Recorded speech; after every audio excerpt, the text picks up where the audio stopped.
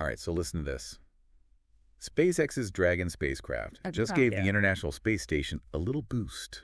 Hmm. And it wasn't just any boost. Right. It was the first time Ah. that Dragon has ever done this, which is uh, pretty amazing when you think about it. yeah, that is really interesting. So we're diving into a recent news article about this today. Okay. So let's get right to it. All right, let's go. So what makes this so interesting?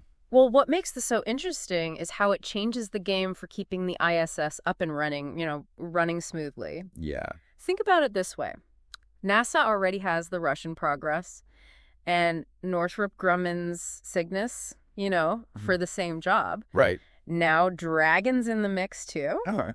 And that kind of backup is crucial when you're talking about space. Yeah. Okay. Having options is good in almost any situation, but up in space. Oh, yeah. It's not like they can just call AAA if the ISS starts falling, right? Right, exactly. So what's the big deal with this redundancy thing? Well, you hit the nail on the head. The ISS is constantly fighting against Earth's gravity and the drag from our atmosphere. Right. If it doesn't get a boost every now and then, it'll eventually fall back to Earth and burn up. Oh, wow. Having different spacecraft capable of doing those boosts keeps everyone safe Right. and buys the ISS more time up there to do its work. So this wasn't just Dragon like showing off. This was actually you know, making sure the ISS stays up there for years to come. Exactly. And don't forget that this was only one part of Dragon's trip. Oh, right. It also delivered over 6,000 pounds of supplies to the station. 6,000 pounds. Yeah. That's like sending a whole grocery store up to space. It's a lot of stuff. Seriously, though, that's a lot of stuff. Yeah. And this was the 31st SpaceX resupply mission, 31st. which really shows you how important private companies are getting, you know, in space. Yeah. I mean, it wasn't just any delivery run either. Right. Some of the cargo on this mission was pretty groundbreaking. Okay. Stuff that paves the way for new discoveries, you know, up Mhm. on the ISS. For example, one shipment was for a new bioprinting experiment. What? They're actually trying to print human tissues in space, Wow. which could totally change healthcare back here on Earth. Oh, you know, that's what I'm talking about. That's cool. Yeah, We always hear about the ISS as a lab in space, right. but it's really so much more than that, isn't it? It really is. It's like a testing ground for long duration spaceflight. Exactly. It's where we learn how to live and work in space for months at a time. Yeah, and it's that knowledge that will help us reach for even bigger goals, Why? like Artemis sending humans back to the moon. And maybe even Mars someday. Exactly. And what we're seeing with Dragon, this ability to reposition the ISS, could be really important for future space stations. Mhm. Like the Lunar Gateway they're planning to build around the moon Right. will need that kind of control to keep it working for those Artemis missions. Yeah. So this Dragon maneuver isn't just about the ISS. Right. It's about the future of space exploration. This is blowing my mind a little. Yeah. It seems like every time we do something incredible in space, Mhm. it opens up a ton of new questions and possibilities. That's the beauty of discovery. Hmm. It's never ending. Yeah. It just keeps going. Yeah, Yeah. it really is amazing. Absolutely. It's like, you know, knocking over that first domino Right. and setting off this incredible chain reaction. Yeah. Speaking of pushing boundaries, Yeah. I was reading about how this reboost was done using Dragon's Draco thrusters. Hmm. Is there something special about those? Definitely. Okay. The Draco thrusters are a key part of Dragon's propulsion system. Okay. They might be small, Hmm. but they pack a punch Right. and give Dragon that really precise control Right. and maneuverability, Oh, which we saw in action, right? Right. This just proved they're not just for docking and undocking. Mm. They can actually move the entire space station. Wow. So they're like those tiny but super strong ants Uh-huh.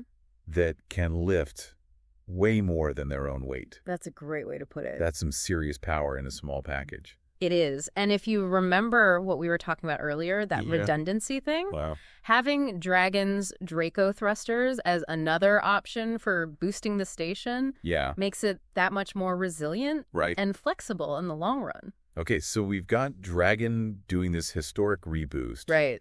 delivering tons of supplies, basically being a space superhero. Uh-huh.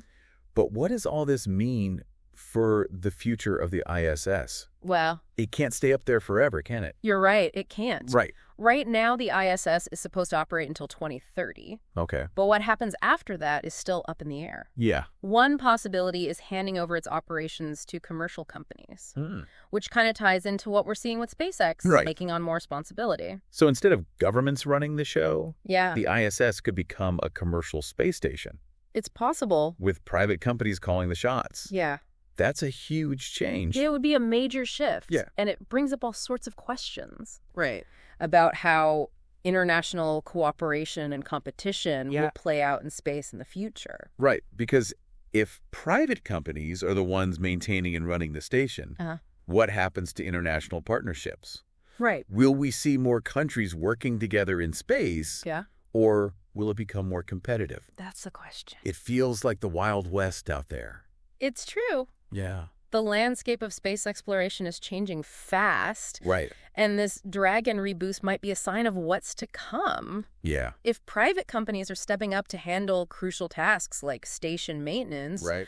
What does that mean for government agencies like NASA? Right. How will international collaborations need to adapt Yeah. to this new reality? Those are some big questions. They are. And I don't think they're easy answers. no. But that's what makes this deep dive so interesting. Exactly. We're seeing history being made right now, hmm and it's impossible to know for sure what the future holds. And that's what's so exciting about it. Yeah. Exploration is about pushing boundaries, Right. taking risks, and heading into the unknown. Uh-huh. This Dragon reboost is just one small step in this grand adventure. Hmm. And it'll be fascinating to see what happens next. It really is a thrilling time to be following all things space. Mm. Okay, so let's recap what we've learned today. SpaceX's Dragon spacecraft pulled off something pretty incredible, boosting the ISS orbit for the first time ever. Yeah, and as we've been talking about, this isn't just a cool technological feat. It has real implications for the future of the ISS. It really highlights the growing role of private companies in space Right. and raises some thought provoking questions about how international collaboration will work in this new era of space exploration. Right, and it makes you wonder what happens if or when private companies are the ones in charge of the ISS. Will we see competing space stations from different companies? It's possible. Will the kind of research they prioritize change? There are so many possibilities. Hmm. Exactly, and that leads to another question worth considering. If a private company owned the ISS, who gets to go? Yeah. Would it just be astronauts from the company's country? Right. Would there be some sort of international agreement? It really makes you think about how access to space might evolve. It's like we're standing on the edge of a whole new frontier. It's exciting, but there are definitely challenges ahead. Well, a huge thank you to you for guiding us through this deep dive into the Dragon Reboost and what it all means for the future of space. And thank you to you, our listener, for joining us on this exciting adventure. If this has piqued your interest, mm. we encourage you to explore more about the ever evolving world of space.